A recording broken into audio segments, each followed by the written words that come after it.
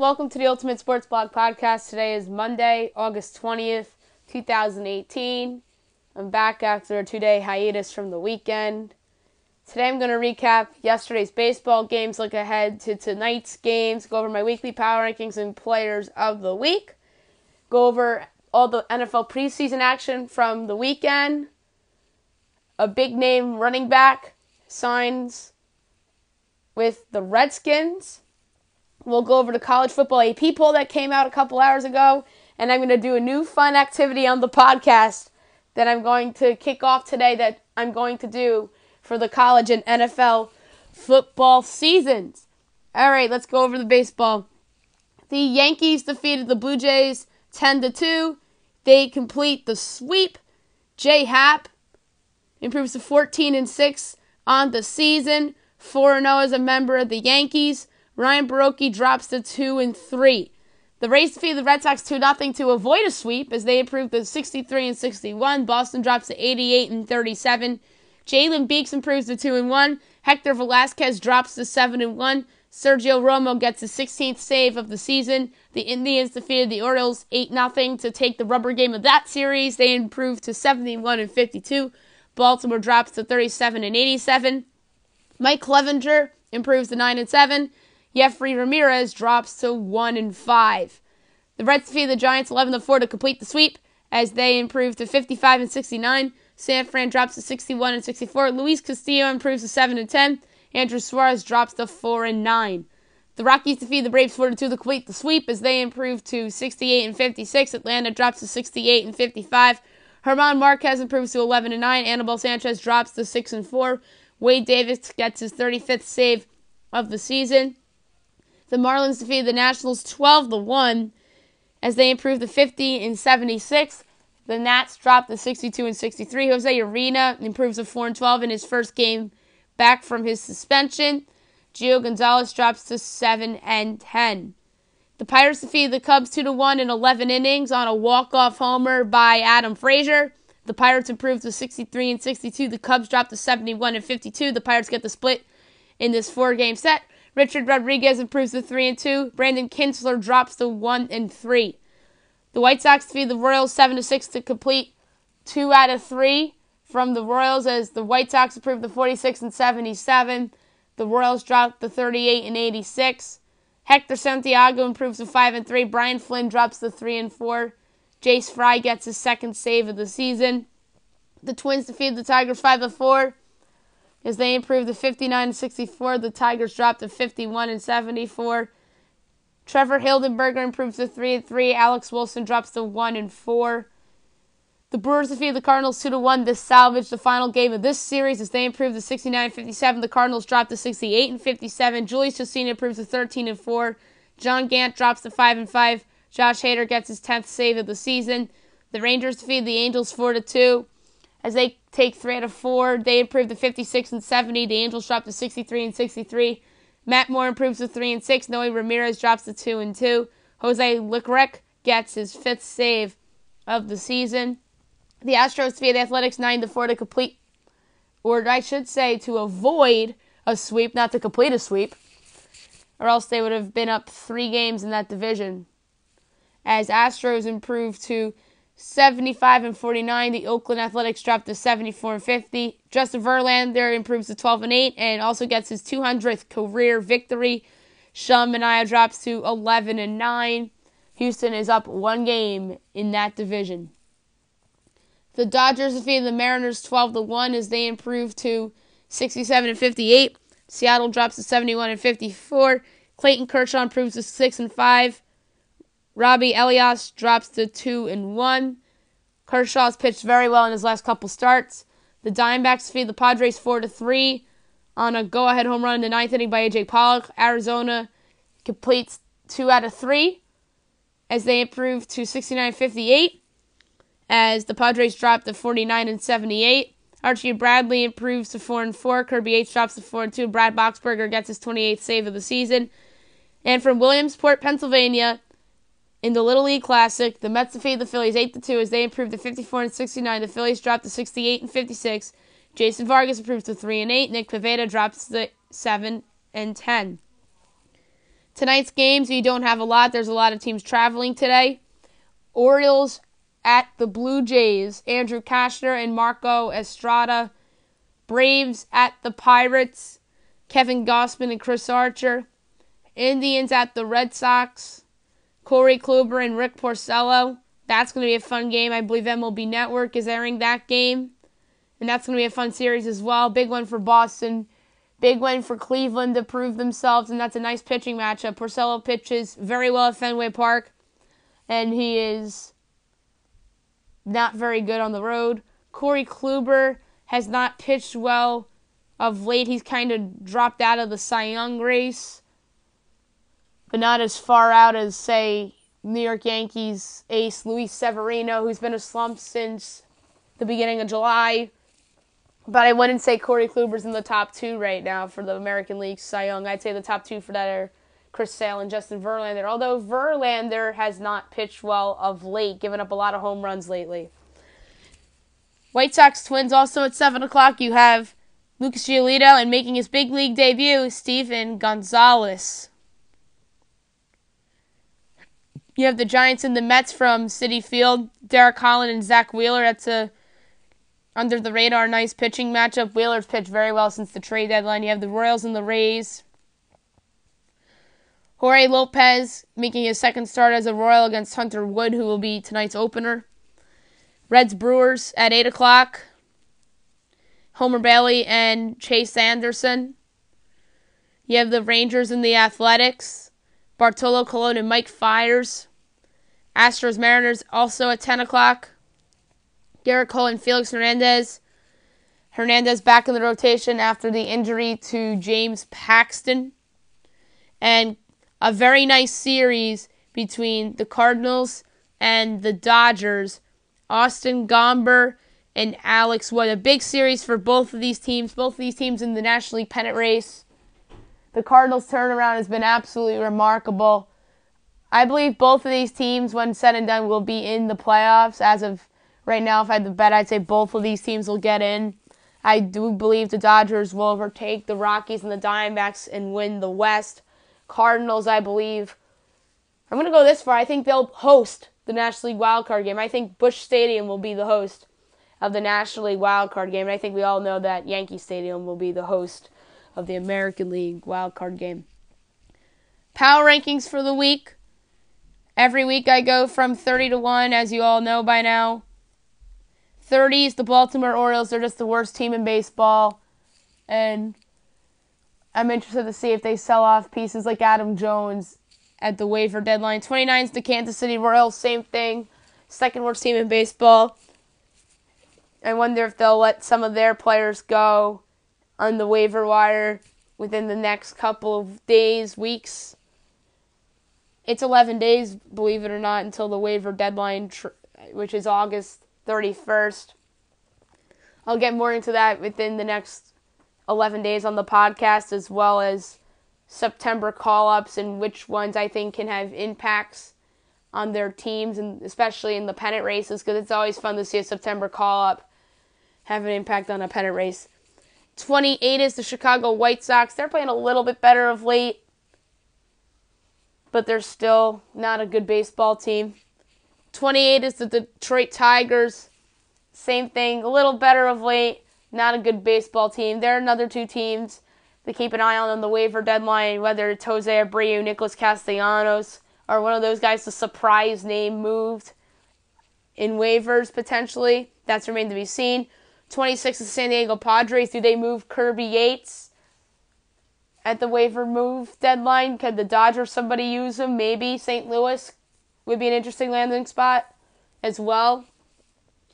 25 is the Miami Marlins. They already shifted Justin Bour to Philadelphia as a waiver deadline move. Will they move JT Realmuto? Probably not. They'll probably wait till the offseason when there could be more contenders going to try to get him if the Nationals are still or decide to still be a contender in a potential post Bryce Harper era. Will they go and get JT Realmuto?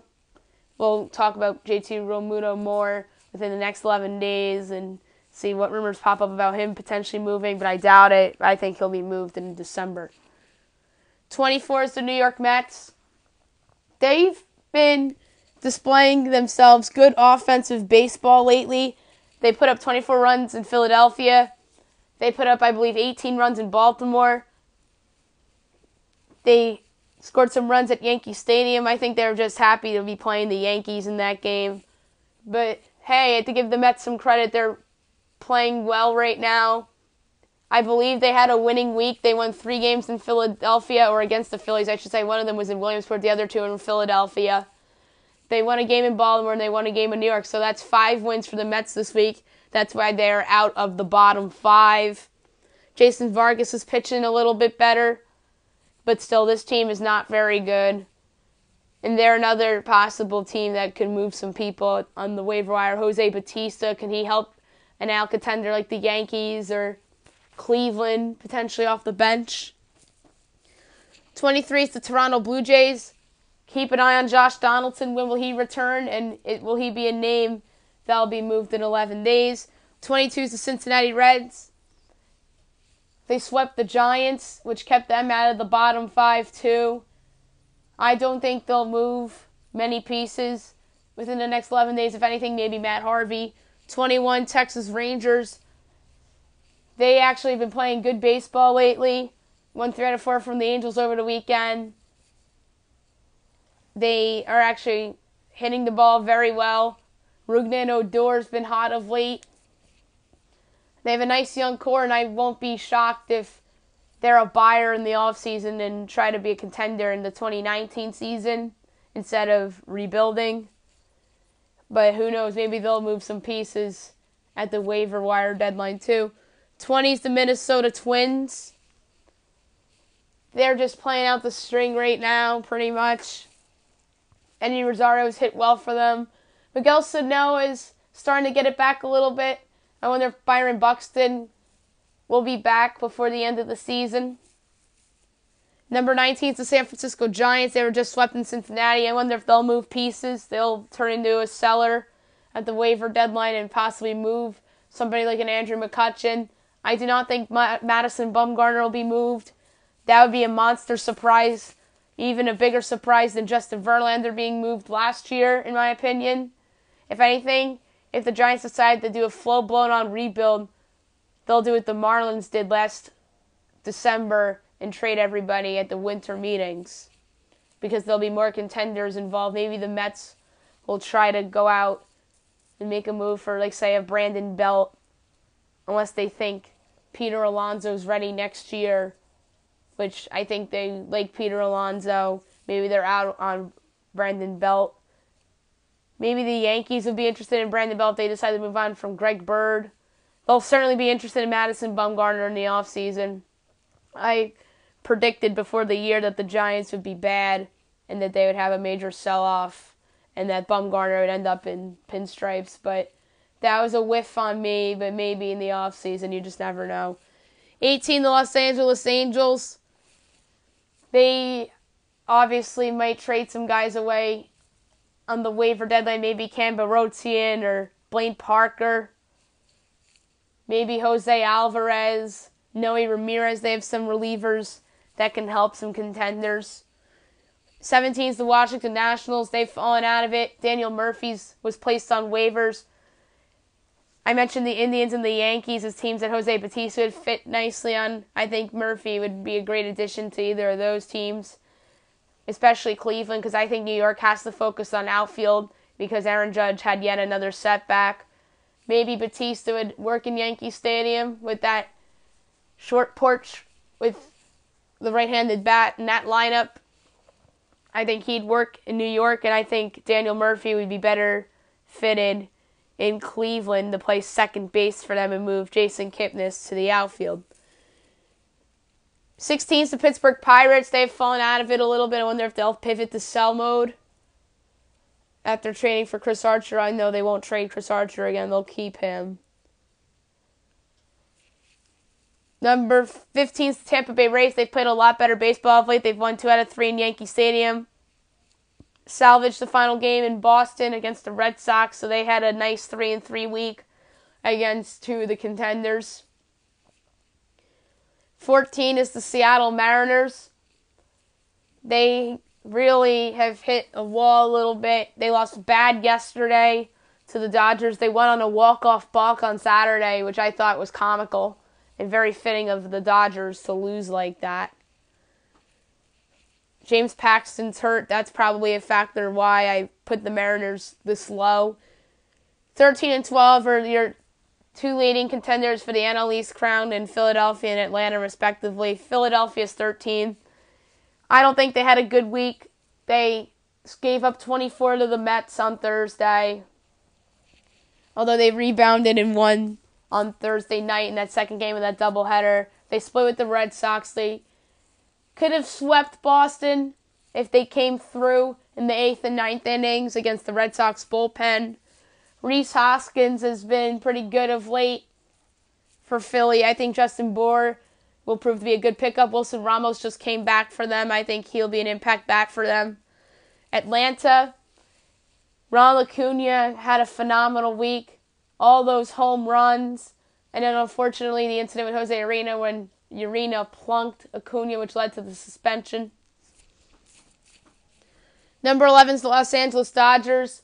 Their bullpen woes against San Francisco and Seattle kept them out of the top 10. Although they rebounded nicely yesterday in one big over Seattle. 10 is the Milwaukee Brewers. They've been a little up and down of late. They split with the Cubs at Wrigley, lost two out of three in St. Louis against the Cardinals. Number nine is the Colorado Rockies. They had a great week. They swept Atlanta, which was very impressive in a four game set in Atlanta, too. I think Colorado can make the playoffs. Number eight is Arizona. They've been playing pretty well lately. Zack Greinke has been pitching pretty well, with the exception of that game in Texas. I don't think Greinke pitched his best in that game. Seven is the St. Louis Cardinals who've been on an absolute tear of late. Matt Carpenter might be your favorite for the National League MVP right now, along with Javier Baez, Paul Goldschmidt, Nolan Arenado, Freddie Freeman. There's a lot of guys in that conversation. I think that's the most wide open award race in the sport right now. Although I think AL MVP is getting a little interesting with Jose Ramirez making a case in. I'm going to discuss another dark horse American League MVP candidate once I get to his respective team. But Matt Carpenter, I think, has put himself to be at least a top five candidate for the National League MVP, along with Baez, Arenado, Freeman, and Goldschmidt. Six is the Cleveland Indians. I already mentioned Jose Ramirez and a possible AL MVP campaign. His teammate Francisco Lindor's in that conversation as well. The Indians have been quietly been playing very well right now. Big series for them this week at Fenway Park. We'll talk about it more as the days go on the podcast. Five is the Chicago Cubs. They split with Milwaukee and then they split with Pittsburgh, so a three and three week. Not the greatest thing in the world, but the Cubs are still a very good team, and I think they'll win the National League Central. Fourth, the Houston Astros. They avoided disaster yesterday by winning in Oakland to avoid a sweep. And speaking of Oakland, they're number three they deserve the spot. Yes, they didn't sweep Houston, but they have to be satisfied with how the weekend went for them. They were in a first place tie going into yesterday's action. Give Houston credit. They won the game. And Oakland, I think, has to be proud of themselves of how they played in that series. They had the walk-off home run by Matt Olson on Friday night. They won big on Saturday and roughed up Dallas Keuchel. They even got the Verlander a little bit yesterday, but Oakland just didn't get the job done. Sean Manaea had a rough outing as well. Number two is the New York Yankees. They went four and three this week, lost the game to the Mets, lost two out of three to Tampa, and then swept Toronto. That was a good sweep by the Yanks. They pretty much own Toronto at Yankee Stadium. They've owned Toronto this year, period. End of story. Dark Horse AL MVP candidate Giancarlo Stanton. What a turnaround for him. He was being booed at Yankee Stadium in April and even in May and even in the beginning of June. But he absolutely has turned his season around, and with the absence of Aaron Judge in that lineup, he stepped up his game big time, and his average has been creeping up and up and up towards 300. I believe he's hitting like 288 right now, and he absolutely has to be in the conversation along with the two stars on, in the in the Indians and with Martinez and Betts in Boston. And that to me is your top five right now. And obviously Aaron Judge is out of it because of his injury.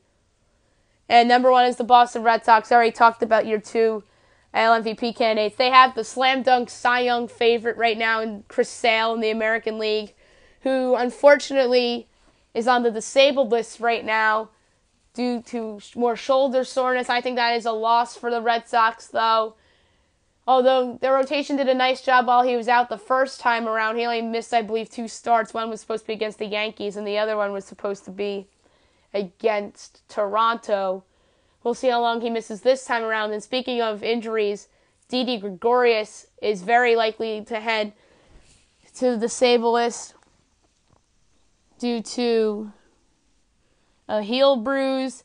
Aaron Boone says that there's a pretty significant chance that he's on the disabled list. I believe he'll go to the DL. And that would be such an enormous loss for the Yankees. Although, give the Yankees credit, they pretty much won without Didi Gregorius yesterday. They've pretty much been winning without Aaron Judge and Gary Sanchez and Didi Gregorius. Well, without Judge and Sanchez over the last couple weeks other than that Red Sox series and other than that Rays series, they've been taking care of everybody else. Yes, you got to take advantage of bad teams on your schedule. The Yankees have done that just fine. Although the Rays, you can't call them a bad team because they're over 500 and have good starting pitching and have the good opener rotation. I think all those openers are actually pretty solid. Maybe not Hunter Wood, but I don't mind Ryan Stanek and Ryan Yarbrough and, and even Wilmer Font has shown some promise too and and Jalen Beeks has had an impact and has been striking out guys left and right. Beeks, I think that trade might go down as a win for Tampa Bay. And not that it hasn't been a bad trade for Boston yet, but Eovaldi has done a nice job with the exception of that bad start in Baltimore. But I think the Red Sox can regret trading Jalen Beeks down the road. He's been unbelievable for Tampa Bay. Came in in relief of Hunter Wood in that Yankees game, where the lone game the Yankees won in that game. He did a nice job in that game, and then he again did a nice job against the Red Sox, shut them down as well. But yeah, the Boston Red Sox are certainly deserving of the number one spot and will probably be at the number one spot for the rest of the season, barring a six game losing streak or barring a combination of a bad stretch for the Red Sox and a unbelievable run by Oakland, New York, Houston, or even the Cubs or Cleveland for that matter. Or, or you could talk me into the Dodgers going on a monster run or somebody like that. I don't see Philadelphia or Atlanta going on a big run. But you can even talk me into the Cardinals if they were to continue on a roll. And it has to be a combination of one of those teams and a Boston uh, regression in order for the Red Sox to not have that number one spot in the power rankings. Players of the week. American League, it's going to go with the American League Rookie of the Year favorite right now, which is Miguel Andujar of the New York Yankees. He's been on fire, hitting a lot of home runs, a lot of big home runs recently hit a couple homers against Tampa, a couple homers against Toronto as well. National League, it's a slam dunk. Ronald Acuna, despite the injury, he's deserving of the National League Player of the Week. Hitting leadoff home run after leadoff home run. The kid is special, and he's going to win the National League Rookie of the Year over Juan Soto. NFL preseason action from the weekend. I went over Thursday's games on Friday's podcast, so I'm just going to do Friday's games and Saturday's games, the Giants defeated the Lions 30 to 17. The Giants sat their regulars. Davis Webb got the start at quarterback, 14 for 20 with 120 yards and a touchdown. A nice bounce back game for him after a terrible outing against the Browns. Davis Webb competing for the backup quarterback job for the Giants with draft pick Kyle Lauletta. Jake Rudock, 23 for 30, 171 yards and a touchdown. He'll probably be the backup to Matthew Stafford, who didn't see much action, only went 2 for 5 at 51 yards. The veteran Matt Cassel, 6 for 9 and 42 yards and an interception. The Chiefs defeated the Falcons 28 to 14. Patrick Mahomes did a nice job. 8 for 12, 138 yards, a touchdown, and a pick. Had a good rating, 98.6. Chad Henne, the backup, 8 for 10, 85 yards, and a touchdown.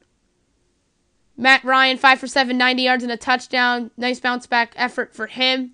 And had a very good rating of 153.3. Matt Schaub, the backup, 7 for 10, 75 yards, and a touchdown. The Bills defeated the Browns 19 to 17. AJ McCarron's the big story of this game. He hurt his shoulder. They're saying he broke his collarbone.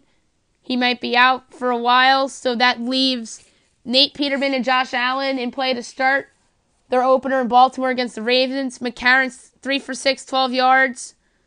Nate Peterman 8 for 10, 113 yards and a touchdown. Josh Allen 9 for 13, 60 yards and a touchdown. Baker Mayfield 7 for 13, 75 yards. Tyrod Taylor 22 yards, 4 for 7. The Panthers defeated the Dolphins 27 to 20.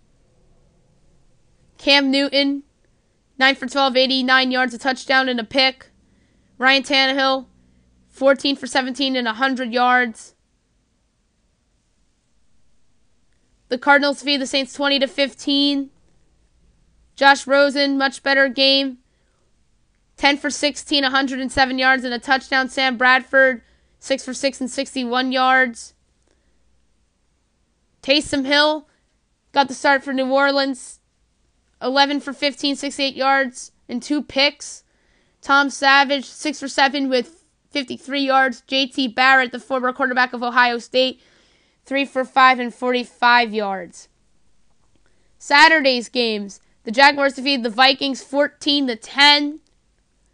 A rough go for Blake Bortles, 12 for 20, 159 yards and a pick.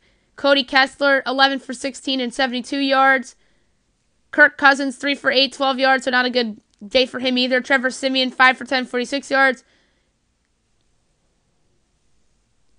The Rams defeated the Raiders, 19 to 15. Sean Mannion, 10 for 16 with 84 yards. Brandon Allen, 6 for 11, 68 yards and a pick. EJ Manuel, 10 for 16, 89 yards and a touchdown. Connor Cook, 6 for 12, 49 yards. The Bengals defeated the Cowboys 21 to 13. Dak Prescott looked good. 10 for 15, 86 yards and a touchdown. Andy Dalton, 5 for 7, 47 yards. The Texans defeated the 49ers 16 to 13. Both of these starting quarterbacks look good. Jimmy Garoppolo 10 for 12, 136 yards, a touchdown and a pick. Deshaun Watson 5 for 8, 73 yards and a touchdown.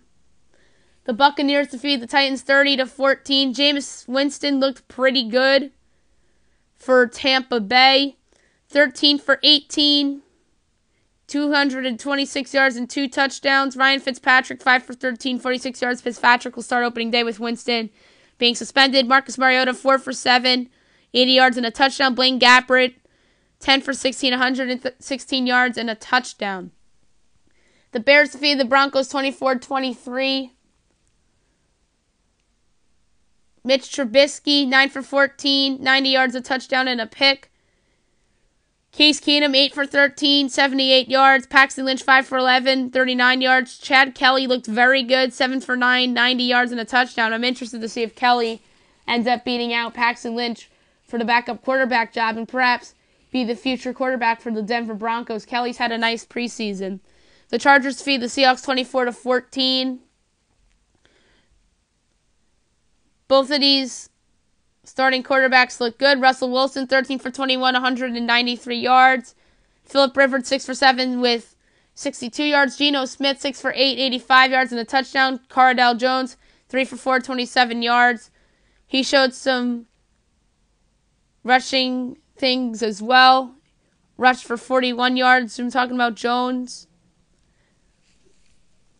Adrian Peterson signed with the Washington Redskins today on a one year deal. In wake of their rookie star running back being hurt with the torn ACL.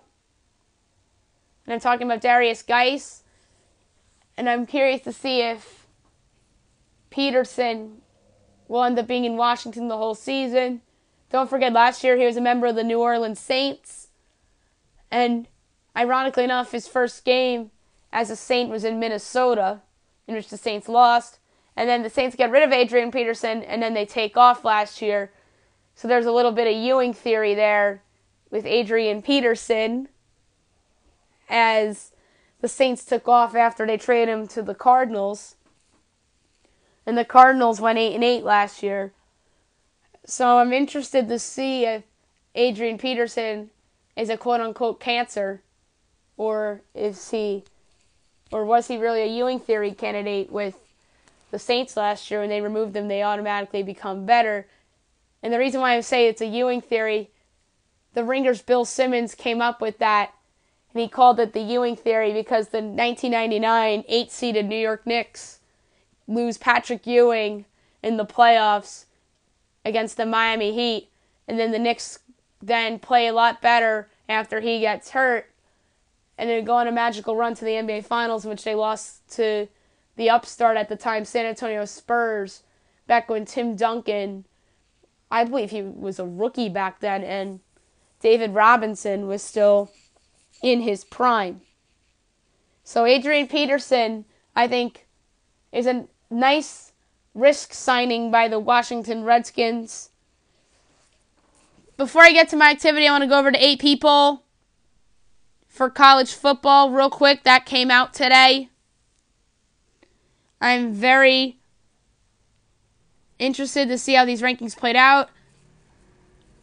I have not seen the full list yet, and here it is. Number one is the Alabama Crimson Tide. No surprise there. Two, Clemson Tigers. No surprise there either. Three, Georgia Bulldogs. I think that's a deserving ranking. Four, this is a surprise to me, the Wisconsin Badgers. Five, the Ohio State Buckeyes. I wonder if Ohio State got punished due to the Urban Meyer situation, which bumped them down a couple spots because you would have thought that Ohio State would have been three, Georgia would have been four, and Wisconsin had a case for number five. Six is the Washington Huskies. That feels right for them. Seven, Oklahoma Sooners. Eight, Miami Hurricanes. Nine, Auburn Tigers.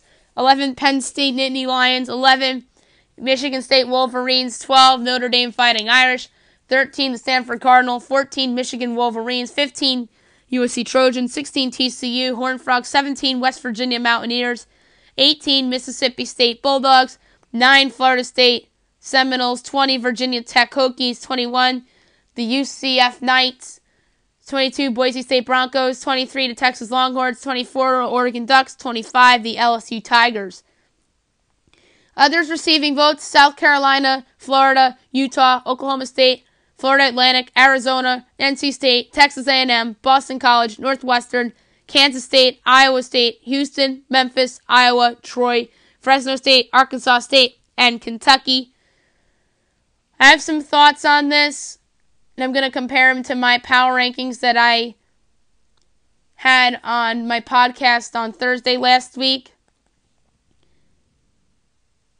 I think that a lot of these teams are ranked pretty much where I thought. I think Michigan's a couple spots too low.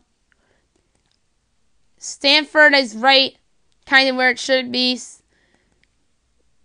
USC too. West Virginia I had them at 18. They're 17 in the AP poll. Texas is much lower than I expected. I have them at 20. I thought they'd be higher than 23. LSU is a team that I had 26, but they had 25. I have Florida State at 25. They have them 19, so I think the Seminoles are a little bit too high.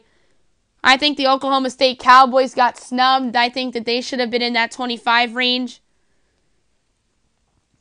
Good for UCF getting ranked. I think that's just out of respect because of last year and how last year went for them. But I still think they're a good team, and I have them at 31 on my board. I have Michigan State 15. They have them 11, so I think they're a little overranked. Miami's right where they should be. I had Auburn 11. They have them 9. The ironic thing about this is that we have the exact same top 8, but we differ. I have Penn State 9, they have Penn State 10, they have Auburn 9, I have Auburn 11, I have Michigan in my top 10, they don't. That's where we differ. They have Boise State in their rankings too, as do I. I think Boise State is the top group of five team coming into the season but they certainly think that it's going to be UCF, although Boise State was only 20 points back of them in the poll. Now I'm going to do something that I couldn't wait to do on this podcast, and that is guess the lines. I'm going to be doing a guess the lines segment every Monday on the podcast between now and the Super Bowl for football purposes, both for college and for the NFL. College football begins this weekend, ironically enough. There are four games, all taking place on Saturday. I'll make picks for those games on Friday's podcast the four games are at 5:30 you have Duquesne at UMass. There's obviously not going to be a line showed for that game because Duquesne is an FCS team. And my guess for how that line would be is UMass giving 26 and a half points to Duquesne I don't know where those lines are, but those lines usually come out at the last minute somehow. And at 7 o'clock on Saturday, have Prairie View at Rice. Rice is going to be awful, but they should be able to be an FCS school. I think they'll be giving 20 to Prairie View. And the first real game on Saturday night at 7:30 on CBS Sportsnet is Hawaii at Colorado State. I think Colorado State will be giving 14 and a half points and Colorado State is actually giving 14 points. So I'm a half point off on that pick. And then you have Wyoming at New Mexico State. My guess is that Wyoming will be giving 6 points to New Mexico State. Although I do like New Mexico State a lot this year, I think Wyoming takes a step back. I think people are a little too high on Wyoming. I had New Mexico State's coach ranked pretty high in my coach rankings, as well as Wyoming's coach. Craig Bohl is a good football coach. And so is Doug Martin. And I think that Bohl's team will be giving six points at New Mexico State.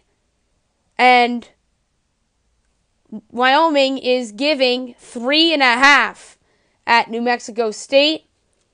So I guess the odds makers are high on the Aggies, and rightfully so. So on that guess, I was two and a half points off.